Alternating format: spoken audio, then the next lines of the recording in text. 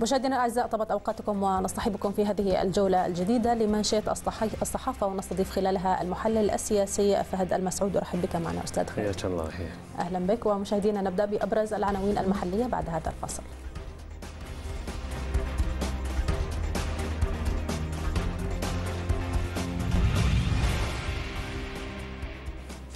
عناوين أخبار صحافتنا المحلية لها صدارة وفي جولتنا نبدأها بهذا الخبر من صحيفة الشاهد التي كتبت أن صاحب السمو أمير البلاد يتفضل فيشمل برعايته وحضوره حفل ختام جائزة الكويت الدولية لحفظ القرآن الكريم وقراءته وتجويد تلاوته بدورتها التاسعة صباح اليوم على مسرح قصر بيان. نبدأ معك أستاذ فهد بهذا الخبر. ما الذي يعكسه اهتمام حضرة صاحب السمو بحضوره ورعايته لهذه الجائزة؟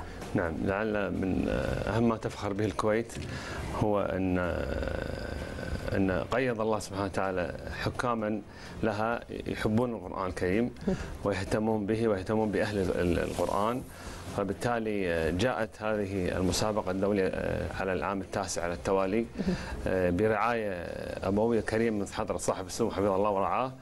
لتعكس مدى اهتمام حكامها بالشباب المسلم لحمايته من أي أخطار يعني أو أفكار يعني منحرفة وكذلك تطرف وإرهاب ونبذ العنصريه لأن القرآن الكريم يعلمنا كثير من هذه الأحكام والقواعد الثابتة الأصيلة التي بالفعل إلى العمل الإنساني وتمكين العلاقات الطيبة مع جميع دول العالم. نعم. فلا شك هي مفخرة واعتزاز لنا جميعا بهذه بهذه المسابقة التي جاء كثير من الشباب يعني قصدوا الكويت المعروف عنها بالاعتدال والوسطية في منهجها للتنافس الشريف من أجل ليس فقط تعليم القرآن وحفظه وتلاوته بل كذلك أحكام التجويد والفقه الذي يمتد كذلك لفهم قواعد أصيلة من ما شك يحمي الشباب المسلم من أي انحراف. نعم،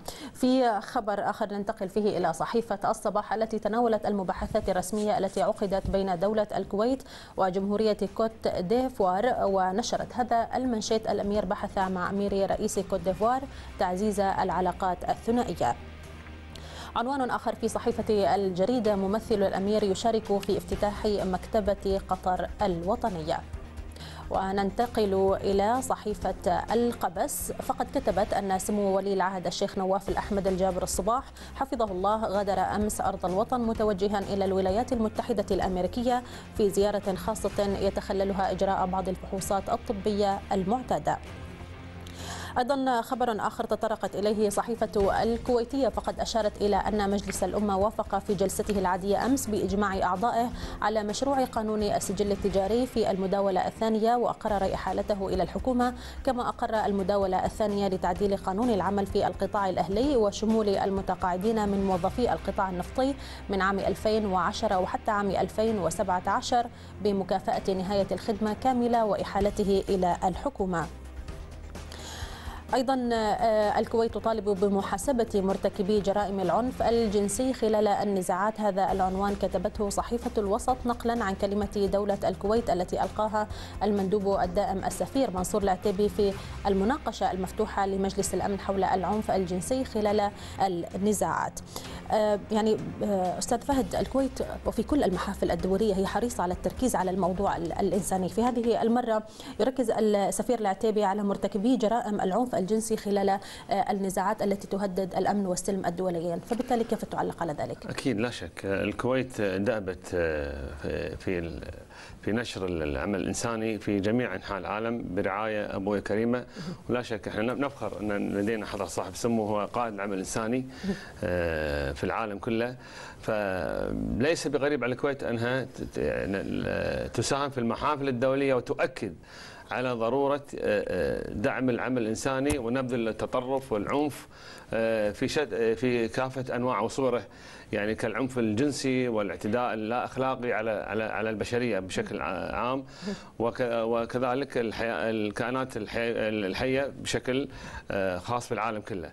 لذلك تأتي هذه الكلمة من منطلق آه، تعزيز آه، وتأكيد على أهمية العمل الإنساني الذي يعني يكون على المستوى الحكومي في دولة الكويت وكذلك على المستوى الرسمي والشعبي والأهلي ويعني لدينا كثير من الأمثلة ومواقف يعني وخير دليل على على على على على نشاط الجمعيات العمل الإنساني الخيري في الكويت واهتمام ودعم الحكومة لها في في في نشر الإنسانية في شتى أنحاء العالم. هذه الكلمة لا شك يعني إضافة جديدة لدولة الكويت في المحافل الدولية وتثبيت على أن الكويت بالفعل بلد يرعى الإنسانية والعمل الإنساني في كل أنحاء العالم. نعم. في خبر آخر ننتقل فيه إلى صحيفة الرأي وهذا المنشط هيئة الرياضة تصادق على النظام الأساسي الجديد لاتحاد كرة القدم وتشكر لجنة التسوية. هذا الخبر بعيد عن السياسة. تناول كعكة محلات في الإفطار يؤدي في النهاية إلى إحساس شديد بالجوع. أسفل هذا العنوان. قالت صحيفة الأنباء أن الإفطار الجيد يجب أن يتألف بصورة أساسية من البروتين والكربوهيدرات ونقلت الأنباء عن فابيان كراف من معهد خدمة الصحة المهنية قوله إنه في الليل تحدث الكثير من عمليات تجديد الخلايا في الجسم لذلك في الصباح تكون مستويات الحمض الأميني منخفضة. وأضاف أن تناول طعام غني بالبروتينات سوف يساعد في إعادة ضبط هذه المستويات بصورة أسرع. ننتقل الآن مشاهدينا إلى الصحف الدولية والعالمية بعد هذا الفاصل.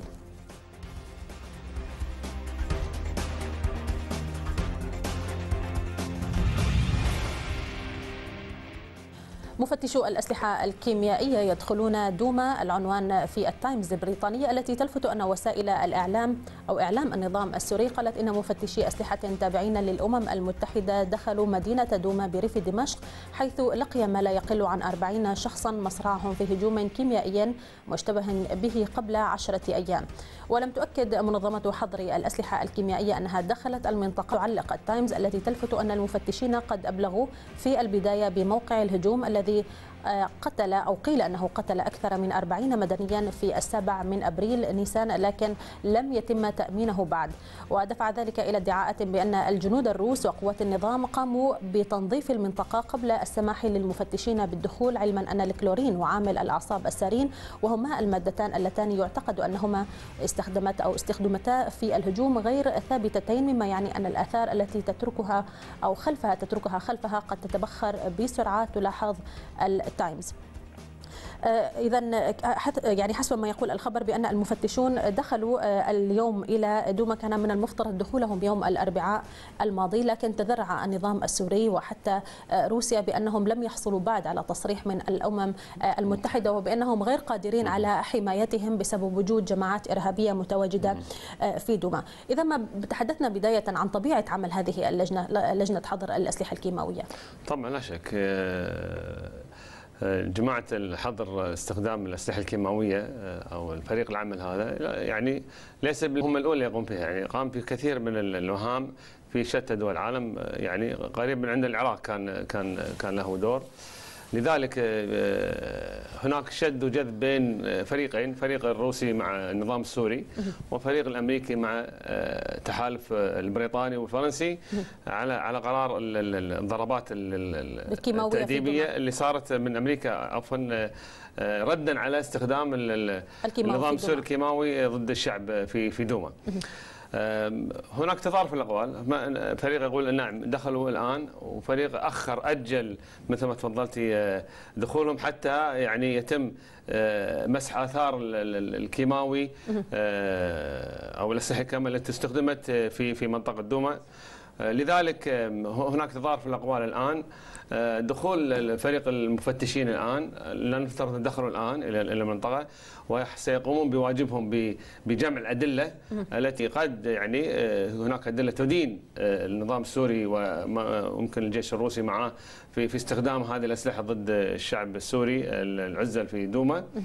ولكن هناك كذلك أقوال أخرى تقول بان مثل ما تفضلت الآن إن إن ممكن هذه بعض الأسلحة الكيماوية سريعة التبخر وبالتالي التأخير في الدخول آه، أتاح الفرصة فبالتالي السؤال هنا يعني إيه؟ أستاذ فهد يعني طالما أن المادتين غير ثابتتين إحنا نتحدث عن الكلورين وعن عامل الأعصاب السارين فبالتالي لماذا تتهم روسيا وحتى النظام السوري بأنها تريد إخفاء آثار هذه الأسلحة الكيماوية أو المواد الكيماوية؟ حتى لا تدان طبعا إذا كان هناك بالفعل ادانه في حال أنها غير ثابتة يعني هي إيه. بشكل عام ربما تتبخر فإذا هي غير ثابتة لماذا يخفوا الآثار؟ اذا إذا كانت هناك بالفعل آه، إخفاء للآثار حتى آه، دعني أقول شغلة هني يعني عندنا الأسلحة الكيماوية حسب حسب التقارير العلمية اللي نعرفها بأن آه، يعني على أساس تكون موجودة في التراب في بعض المباني وحتى على آثار على البشر لمدة لا تقل عن 10 أيام. نعم. آه، الضربة صارت 7 أبريل. واليوم نتكلم عن 17 أبريل 18 أبريل. بالتالي آه، النظام السوري يعني أخر دخول آه، هذه أو فريق عمل المفتشين على حظر استخدام الاسلحه الكيماوية. حتى يعني تزول هذه الأثار. حتى لا يكون هناك أي إدانة مباشرة للنظام السوري وتورطة في استخدام الأسلحة. لكن في المقابل هناك ادعاءات امريكيه بان بالفعل تم استخدام آه، هذه آه، هذه الاسلحه ضد الشعب السوري فهناك في تضارب في الاقوال طيب النظام أمريكا وروسيا وفرنسا وبريطانيا تستدل على استخدام الاسلحه الكيماويه من خلال وسائل الاعلام العربية والعالمية وكذلك من خلال معلومات استخباراتية لكن لم تفصح عنها أمريكا. نعم. وتقول أن هذه طرح سرية تامة. فبالتالي الآن آه، يعتمد على المفتشين ومدى مصداقية العمل المفتشين في في العثور على آثار في التراب في المباني على آثار الأجساد على مقابلتهم مع بعض المتضررين المصابين شهود عيان. كل هذه الآن يعني لكن هناك راح يكون تصعيد. نعم. تصعيد دبلوماسي لهذا لهذه اذا إذا ثبت تورط وتقرير المفتشين ثبت تورط النظام السوري والنظام السوري ينفي هذا الكلام وأمريكا تؤكد وبالتالي هناك راح يكون تصعيد على مستوى مجلس الأمن في في قضية استخدام الأسلحة في حال أنها ثبتت نعم. الشكوك نعم. بأنهم قاموا بإزالة هذه الأثار. في صحيفة النيويورك تايمز تكشف أن الرئيس الأمريكي دونالد ترامب يرفض عقوبات جديدة ضد روسيا متجاوزا مستشاريه والصحيفة تكتب تحت هذا العنوان تقول رفض الرئيس ترامب في الوقت الراهن على الأقل حزمة جديدة من العقوبات من المقرر فرضها على روسيا وهو تغيير في المسار أكد الانقسام بين الرئيس وفريقه للأمن القومي. وكانت سفيرة الرئيس في الأمم المتحدة نيكي هيلي قد أعلنت يوم الأحد الماضي أن الإدارة ستفرض عقوبات على الشركات الروسية التي يتبين أنها تساعد برنامج الأسلحة الكيماوية في سوريا وتم إدراج العقوبات على قائمة من الخيارات الحكومية الأخرى بعد غارة جوية بقيادة الولايات المتحدة على سوريا وانتقام ضد هجوم الغاز المشتبه به الذي قتل العشرات في الأسبوع السابق تكتب النيويورك تايمز. في أيضا هذا الخبر يعني موقف الرئيس الأمريكي إلى أي مدى نستطيع أن نقول بأنه يعكس خلافات في المقاربة بينه وبين فريقه للأمن القومي؟ لا شك هذا واضح. من التصريحات واضح. هناك تصريح من مندوبة الولايات المتحدة الأمريكية في الأمم المتحدة السفيرة وكذلك مستشار الأمن القومي آه، وخلاف ذلك تصريح دونالد ترامب الرئيس الأمريكي بأن لا لا يكون هناك إضافات. طبعا في عقوبات آه، سارية المفعول لكن ما لا, لا, لا لن يتم إضافة أي عقوبات إضافية جديدة على ما هو في السابق. فبالتالي هذا هذا التناقض في التصاريح يدل أن هناك بالفعل في خلاف. في خلاف جوهري داخل فريق المستشار القومي الأمني آه، الأمريكي مع آه، مع الرئيس الأمريكي. وجهة نظر الرئيس الأمريكي قد تكون وجهة نظره ان وهذا تحليل طبعا بان بأن قد تكون العقوبات الإضافية الآن قد تزيد أزمة يعني آه، فعلية آه، وتصعيد فعلي وخطير آه، من خلال ملف الشرق الأوسط بما فيه الاسلحه الكيماويه في سوريا. نعم. فبالتالي قد يكون وجهة نظره بان يتريث الآن في عدم إصدار عقوبات إضافية حتى ي- يرى النتائج- وخاصة بعد الضربة الأمريكية على سوريا. اللي هي اللي يسمونها الضربة التأديبية surgical strike okay؟ فبالتالي آه، يتريث الآن حتى ظهور النتائج النهائية من مفتشين الأسلحة الحظر استخدام الأسلحة الكيماوية ومن ثم بعد ذلك يتبين إن هل هناك تستحق بالفعل. روسيا آه، يعني عقوبات إضافية على خلاف طبعا خلاف ملفات كثيرة يعني وترسبات آه، سابقة أم يكتفي بهذه العقوبات الحالية؟ عموما هي ليست المرة الأولى التي يقوم نعم. فيها دونالد ترامب باتخاذ قراراته وقراراته معظمها نعم. على على تويتر و... ولا يعود إلى مستشاريه صحيح، في إدارته صحيح. منها موضوع انسحاب أمريكا من من نعم. سوريا وأيضا الموضوع الآخر موضوع الضربة الأمريكية على سوريا كانت قبل برأي صحيح. القادة صح. العسكريين سننتقل الآن مشاهدينا إلى لندن وينضم إلينا من هناك مراسلنا جمال شاهين. أرحب بك معنا جمال. صباح الخير علا. صباح النور. جمال تفضل وأجمل لنا أبرز ما تناولته الصحف البريطانية لهذا اليوم. الصحف البريطانية الصادرة صباح اليوم تركز في غالبيتها على التحديات التي تواجه رئيسة الوزراء البريطانية تريزا ماي وكذلك رئيس حزب العمال المعارض جيرمي كوربون والتحضيرات للقمة المرتقبة بين الرئيس الأمريكي دونالد ترامب ونظيره في كوريا الشمالية بعد الإعلان عن وجود اتصالات مباشرة بين الطرفين.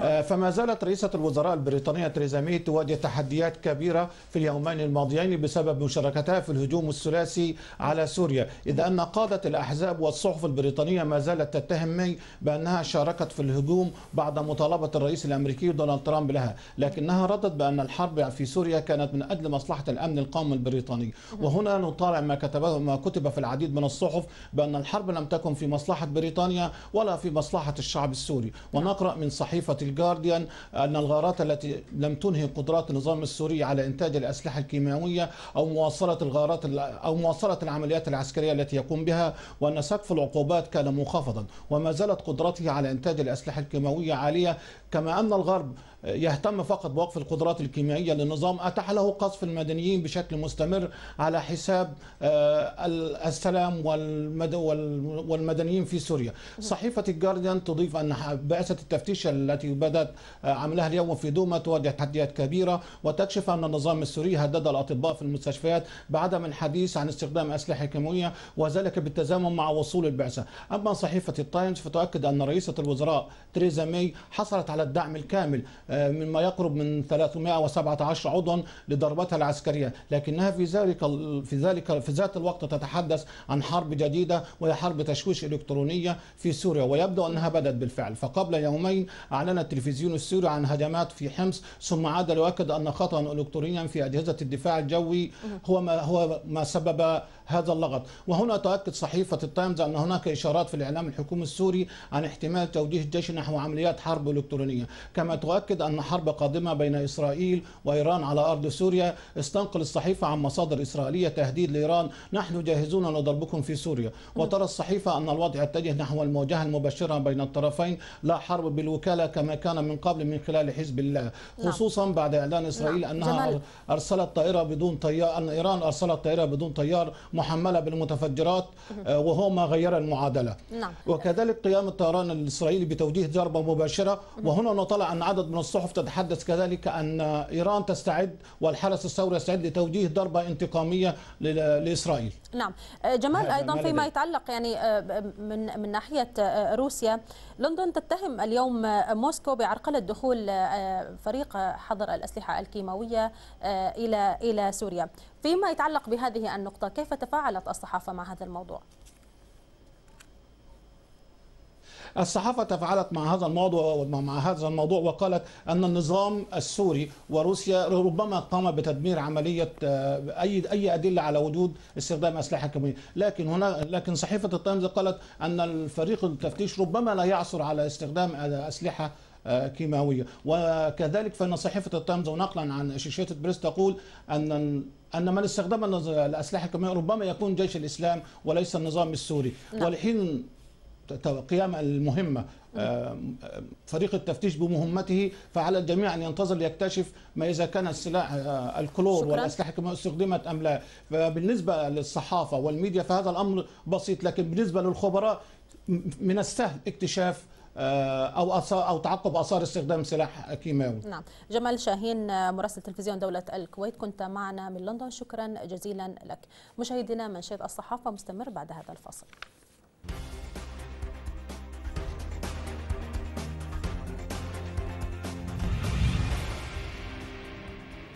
في صحيفة الإندبندنت البريطانية تتوقف عند كلمة الرئيس الفرنسي إيمانويل ماكرون أمام البرلمان الأوروبي في ستراسبورغ وتنقل عنه تشخيصه أن أوروبا في حالة حرب أهلية على خلفية الخلافات العميقة بين دول الاتحاد. ماكرون حث الدول الأعضاء على الوحدة والحفاظ على النموذج الفريد للاتحاد الأوروبي تلفت الإندبندنت التي التي تنسب إلى ماكرون قوله أن هناك سياق انقسام وشيك للواقع داخل أوروبا وماكرون أكد لأعضاء البرلمان الأوروبي أن فرنسا ستسعد بزيادة مساهمتها في ميزانية الاتحاد الأوروبي من أجل تعزيز السيادة على مستوى أوروبا ولكن يجب إلغاء الخصومات بين الدول الأعضاء. أيضا هذا الخبر من نيوزويك الأمريكية. لافروف يتهم الغرب بإبادة بالعقوبات وسط علاقات أسوأ من الحرب الباردة والعنوان في النيوزويك الأمريكية التي كتبت. اتهم كبير الدبلوماسيين في روسيا الغرب بمحاولة إبادة إبادة جماعية بفرض عقوبات ضد روسيا في وقت تشهد فيه العلاقات المتوترة ما يشبه الحرب الباردة. وقد فرضت الولايات المتحدة وحلفائها عقوبات ضد الحكومة الروسية القريبة من الكرملين كعقوبة مما أدى إلى تضرر سوق الأسهم الروسية وتقليص قيمة الروبل وألقى لافروف باللوم على الغرب فيما وصفه بمعاقبة الشعب الروسي بأكمله تلفت النيوزويك. هذا الخبر من صحيفة البايس الإسبانية التي نقرأ فيها هذا الخبر. استنكرت الولايات المتحدة والمملكة المتحدة حملة عالمية للتجسس الإلكتروني بقيادة روسيا.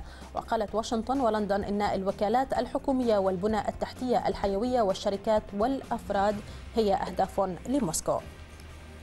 ننتقل مشاهدينا إلى مقال اليوم بعد هذا الفاصل.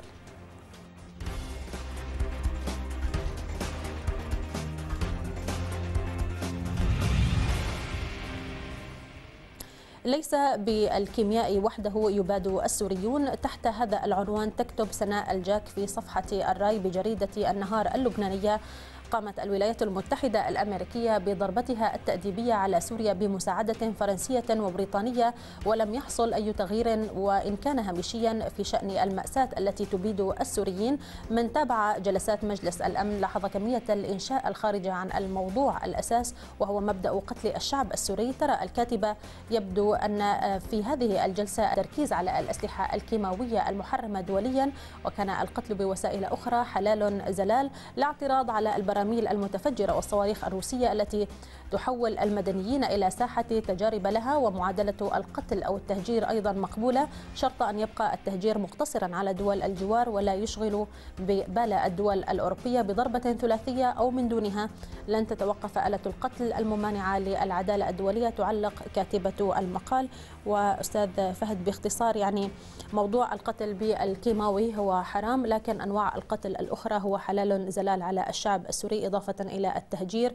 ليس للدول الغربية وإنما للدول العربية أيضا هو حلال. فبالتالي كيف تعلق على هذا المقال؟ نعم لا شك. هذا المقال مقال جيد يشخص الواقع الحالي في في سوريا منذ اندلاع الأزمة في 2011 نعم.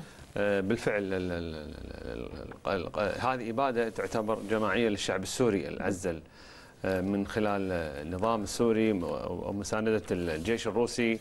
وكذلك حتى الضربات التأديبية كما يعني وصفت الكاتبة العدوان الثلاثي وضربات التأديبية لن تسمن ولا تغني من جوع. لذلك بالفعل ما يعاني الشعب السوري اليوم معاناة كبيرة من قتل وتشريد وطرد من بلادهم يعني ولا يحرمون من حق العيش يعني ناهيك عن يعني الأمور الإنسانية يعني حتى وصلوا إلى درجة يعني الافتقار إلى الأكل والشرب والتطبيب ونقص في الادويه يعني هذه كلها مأساة إنسانية جدا جدا يعني. لا, لا تقل يعني عن عن المأساة موجودة في بعض دول العالم كالمجاعة وغيرها. نعم. فبالتالي بالفعل اللي يحصل في سوريا ليس فقط ال ال ال القتل بالكيماوي القتل بالكيماوي لكنه قتل جميع أنواع ال- ال- ال- القتل القتل. وسائل القتل سواء أسلحة أو غير أسلحة نعم. والتعذيب والتنكيل وقطع الإمدادات كل هذه الأمور يعني نعم سننتقل الآن مشاهدينا إلى الكاريكاتير بعد هذا الفاصل